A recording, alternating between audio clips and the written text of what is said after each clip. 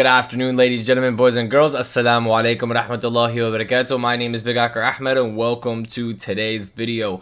Today, we're going to be going ahead and talking about some of the control that's happening in the entertainment industry. In specific, we're going to be talking about DJ Khaled today, as he is going to be our main example here. I've noticed that about a year ago, when Israel and Palestine had gone ahead and got into the issue that they're having today and the Palestinian people are being persecuted and destroyed by the thousands, tens and tens of thousands, that there are specific people in the media that refuse to speak, and then there are specific people in the media that go all out barbaric when they speak. And I find this very, very interesting because we can use these people as examples to see what happens to them. Do their bosses, do the people above them that hire them for these movies, that hire them um, and sign them to these labels and push out their albums and distribute them, do these people agree that, you know, an artist who's able to express themselves, for instance, is allowed to have a public opinion or a social opinion or is allowed to have any opinion at all? Or are they supposed to just follow the political and social norms of their higher ups, right? So I noticed this prominently in DJ Khaled. As DJ Khaled is a Palestinian man, and he has this uh, struggle story and all this garbage. I believe he grew up in New Orleans and met the likes of like Lil Wayne and people like this early on in his career, and then moved out to Florida, lived in Miami and places of this nature, and still resides in Florida today. DJ Khaled is an award winning DJ, if you don't know who he is.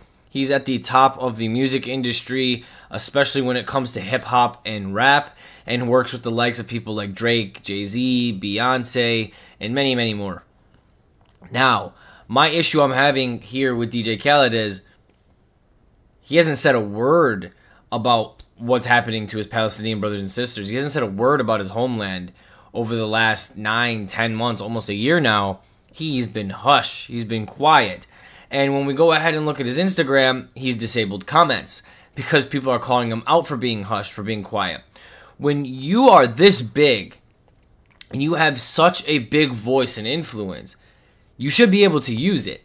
And I find it interesting that when we look at other influence influences, artists and actors and you know just social media influencers in general, that you see a big promotion of, you know, free Palestine and stand with Israel all over the place. But when it comes to someone who's Palestinian, who is a very big, one of the biggest names in the music industry, coming out and saying anything, he won't do it. He's scared, right? And this is just because he's going to get fired from whatever role he has in a movie or his next album is not going to be released or pushed out. And this is what I personally believe. So without further ado, let's go ahead and just take a look at his Instagram.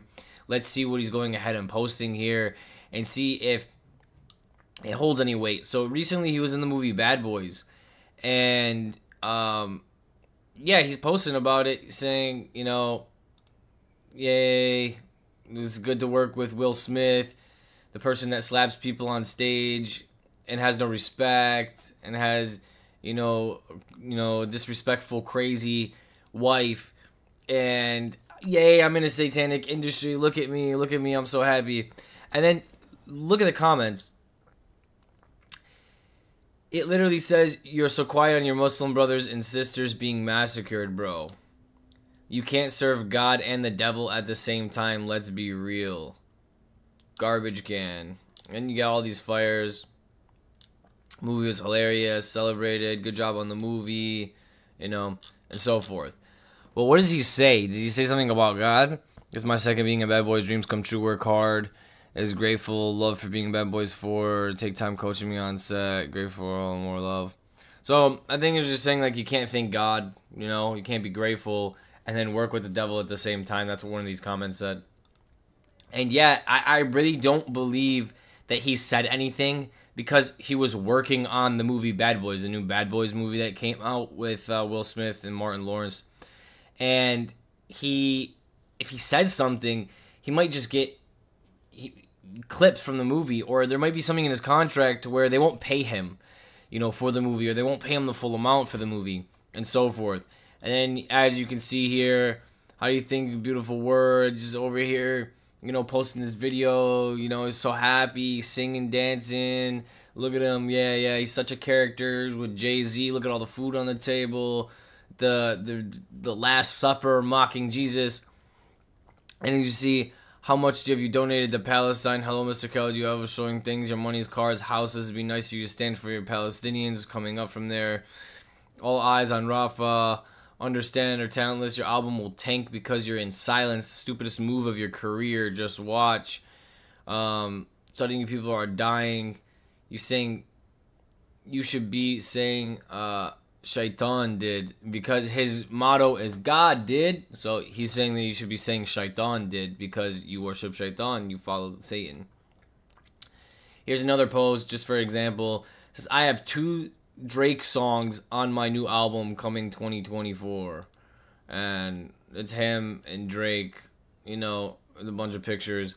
And as you can see, once again in the comments, these millions of followers aren't going to get you anywhere on the day of judgment. Forget where you come from. Support Palestine, bro. Sold his soul for five minutes of fame. He forgot where he came from. Only money talks in this world, bro. Two Drake songs, but you are missing two balls to make any make any sense. So this is exactly what I'm talking about. People notice this thing. People are also frustrated, and it's not DJ Khaled's job to necessarily come out and be the spokesperson for Palestinians. But he's Palestinian. And in a time like this where there's not very many Palestinian people or just Arabic people in general in the entertainment industry that have a voice as loud as DJ Khaled and he's standing with all these other artists. He's standing with Drake who is actually Jewish, who is one of the biggest artists in the world. For him not to voice his opinion and say something and not put his, you know, not put his equal weight of things on his talents and on who he is and not understand his value in the music industry as it is. And I don't advocate for music. I think music is completely haram, it's completely satanic, and it's a way to, you know, go ahead and brainwash people and take them away from God Almighty. So the music industry in general is satanic. But you have a voice. So why are you not using it? Because you're scared that your peers are going to drop you. You're scared that your bosses are going to drop you. You're scared that you're not going to get the role in that movie that you just recorded. And this is why you won't speak. This is exactly why you won't speak. And it's very sad because you choose all of this, all of this worldly gain over the afterlife. You choose all this worldly gain out of, you know, exposing something from the inside out. Like you know what's happening, and you work inside of a huge industry, a large industry. You hear the wickedness, you know the wickedness. You can expose a lot of it, but you choose not to. You run your mouth so much, bro. If anyone knows who DJ Khaled actually is, and I've ever seen him on like social media and talking and recording, you know, Snapchats and clips and TikToks, the guy doesn't shut up, dude. He talks so much, so fast and it's really sad to see someone who's they babble their mouth all day on unimportant stuff and then when it comes to important topics like this where you come from it's your people who are oppressed you don't say a word and i find it sickening right i'm going to go ahead and give you guys another example in the music industry here and this gentleman's name is belly right and he's also a rapper this rapper is, I believe, he's signed to The Weeknd.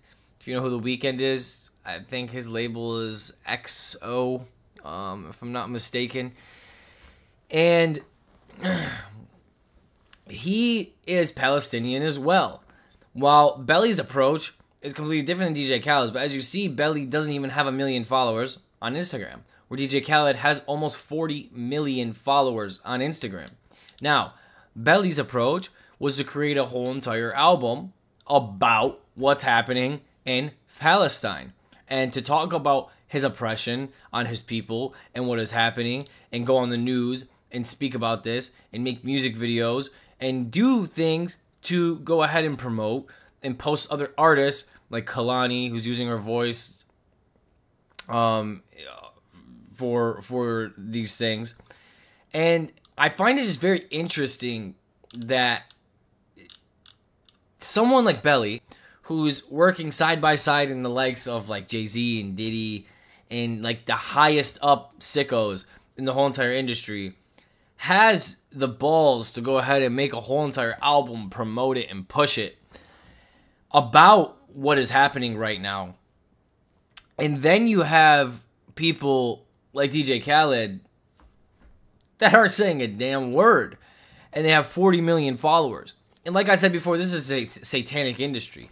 I don't really expect these people to be the influence or to be the, you know, to be the uh, the leaders of our communities. I think these people are idiots when it comes down to, to when at the end of the day they rap about drugs and sex and all of these different things.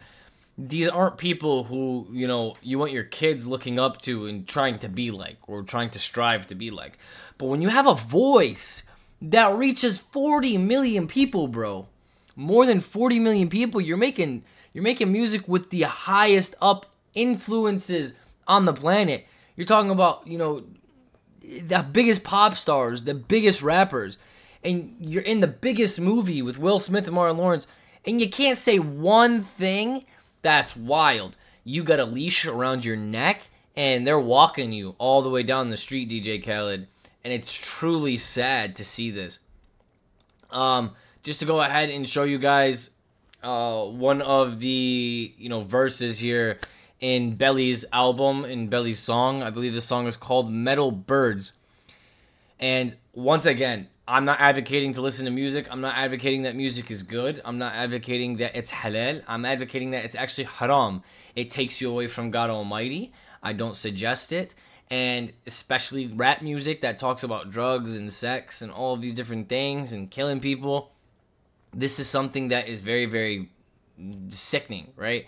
The bass, the the boom, the beat makes you shake your body. It makes you dance sexually, and it, it, it leads to fornication. It leads to things that just are not good. There's a reason that when we recite the Quran, it's uh, it's, it's like a melody. It's melodic, right? It touches your heart, touches your soul. It sounds soothing. The rhythm, the vibrations that come out of the way you pronounce specific words. This is something that is so important frequencies and vibrations affect our body, they affect our mind, they affect our soul, they affect everything around us. And they understand this with music. The way that they put things in music is incredibly sickening. It is to brainwash us, it is to mind control us, it is to lead our children and lead even adults to doing sick things, to doing things in specific that we wouldn't just normally think up or normally do. It's a way to brainwash people, and it's a way to get to people's hearts and souls as well, and to tarnish them and to break them down. So remember that when you're listening to music. I don't care who it is, especially if it's mainstream music that's being promoted by a label and pushed out on the radio and pushed out on, on the front pages of YouTube and trending. It's demonic. It is completely demonic. And I started doing this documentary on music to go ahead and expose the music industry. And I got so deep into this and I had so much information.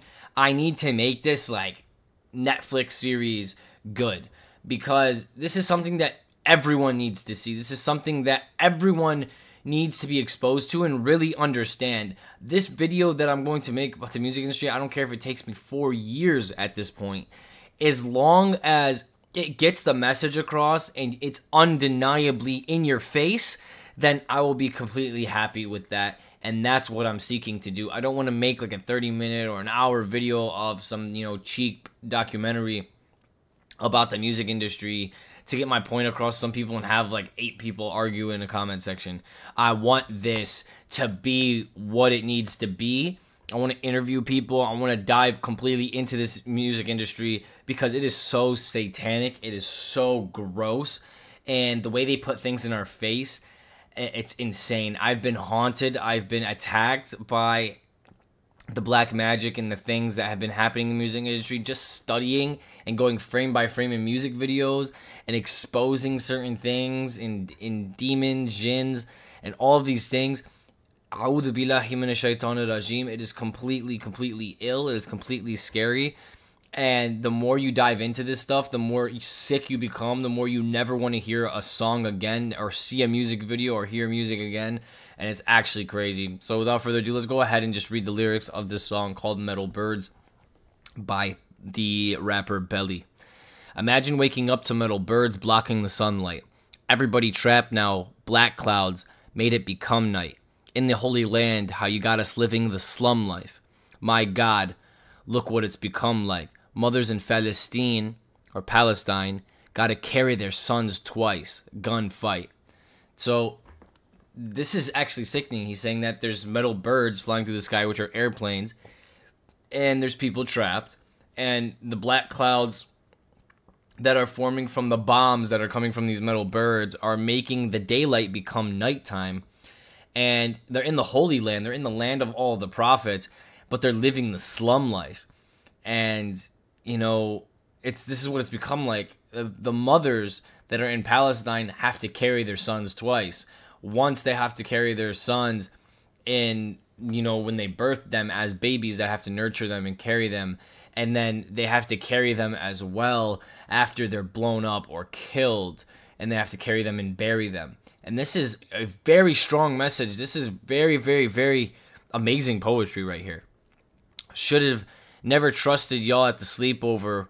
The overseers build walls we can't see over. Freedom is a luxury afforded by freeloaders that put us in shallow graves and sheep in a deep coma, but thieves cannot be owners.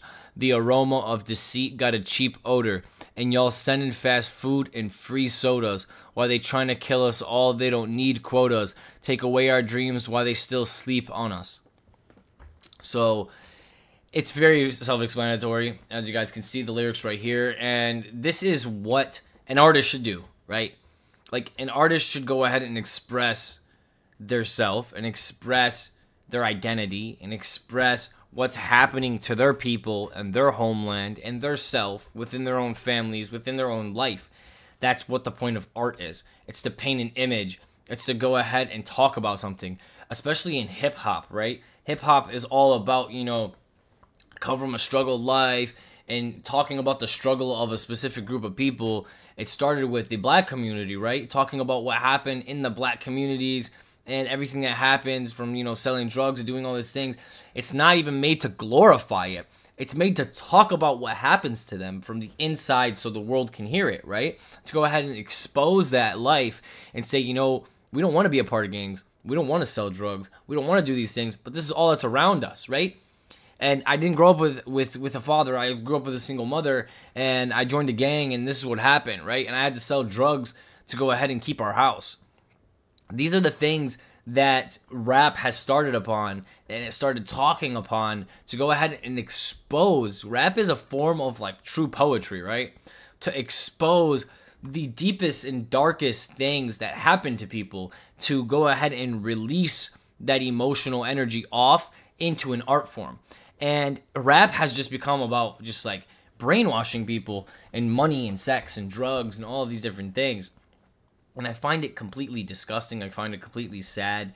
And music is completely haram. I completely advocate against all of it, to be completely honest with you. But when you go ahead and you look at the scheme of things, there's levels to it. There's artists who go ahead and try and use the art form to spread a positive message, to spread something good. Yes, are many of them controlled that are within the industry? 100%. They're not allowed to say what they want, they're not allowed to do what they want. And it's so, so sad what the world has come to that you're not allowed to have a viewpoint in a country where freedom of speech is liable.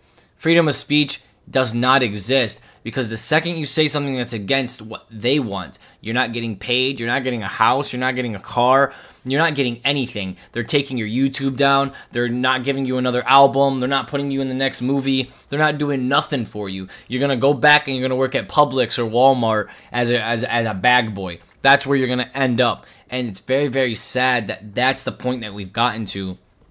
And I just wanted to show you guys a couple examples of Palestinian artists that are in the industry that went ahead and either said something about it or didn't say something about it. And you can go look at the, the numbers of Belly and see how shadow banned his album is and how it's not being promoted, how it's not being pushed. And then you can go see how pushed DJ Khaled's garbage is when he just screams over top of a mic and he brings people on. And it's very, very sad to see the likes of DJ Khaled, one of the biggest and probably the biggest Palestinian artist in the whole entire world, not say a word. It's such a shame. And I, I really just hope he wakes up. I know that everyone has a chance. And when it comes to Allah subhanahu wa ta'ala, when it comes to God Almighty, every human being has a chance. God is all merciful, God is all knowing, and God is all loving. So when you turn to God Almighty, God Almighty will help you. If your heart is there, if your heart is pure, if you have a good intent, Allah subhanahu wa ta'ala, God Almighty will guide you, God Almighty will help you. There's no human being, I don't care how rich, I don't care how powerful, I don't care how many countries he owns and how many bombs he acquires. There is no one stronger than God Almighty. There's no one who knows better than God Almighty. And I would rather be set for eternity in the afterlife than be set for 10, 20 years in this physical life that's going to suck anyways. Most people go through life thinking if I get this, I'm going to be good. And then they get it and then their life still sucks. And when I say sucks, you should be blessed for everything that happens to you. When I say sucks, I mean you're going to struggle regardless. I don't care if you're rich, I don't care if you're poor, I don't care who you are. You're going to struggle. Life is full of struggles. It's a test. Depending on who you are, you're getting a different test. God Almighty is not going to make it just easy on you, right? God Almighty makes it easy on you when you submit to Him. He will guide you through everything in life and make it easy on you. But if you don't have that, life's going to suck anyways. So, what's the point in chasing your, your money hungry friends, your money hungry bosses, and selling your soul to these people, selling your soul to shaitan, to the devil? In not connecting with God, not standing up for something, not being or identifying with anything. All you're doing is killing yourself from in the physical world and in the afterlife. Your your life is not going to turn out very very well doing what you're doing and it's going to backfire on you DJ Khaled. And this is just a message and a warning shot to you and I find it very very dissatisfying and sad and we're just going to go ahead and end it here. Thank you guys so much for coming in today. God bless every single one of you. And if you guys have anything to go ahead and say, leave it down below in the comment section.